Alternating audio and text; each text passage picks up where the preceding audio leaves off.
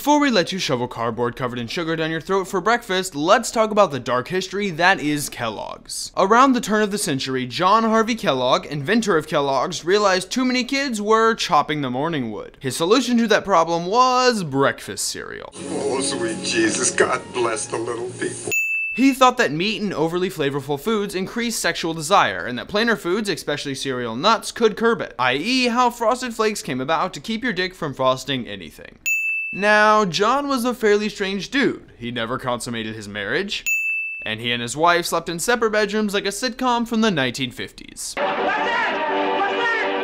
Kellogg wrote a book in which 39 symptoms of someone plagued by masturbation were laid out. These included mood swings, bashfulness, boldness, bad posture, still joints, fondness for spicy things, acne, palpitations, and epilepsy.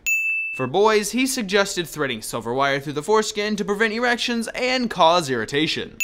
For girls, he advocated and sometimes employed an application of carbolic acid to the clitoris to burn and discourage touching it. He thought burning off your fing clitoris was a good idea.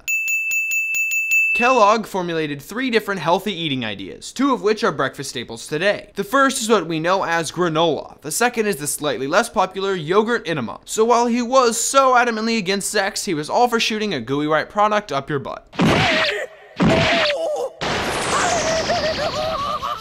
William Kellogg, John Kellogg's brother, began adding sugar to the cereal and focusing on commercial and financial objectives rather than on healthy or religious benefits. The brothers parted ways, and Kellogg's Corn Flakes as we know it now was born. Kellogg's has all natural and nothing artificial printed on the boxes, which may be stretching the truth. A better disclaimer here would be it's actually edible.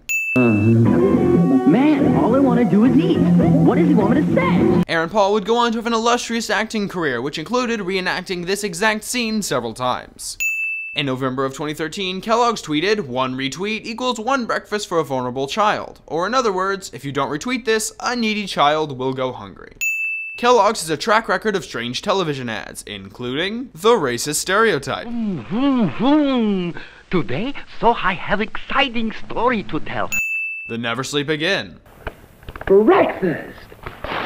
Take it from Carinkles. That's me. It's so good, I crinkle every time I eat it. Honey and sugar make it different and wonderful.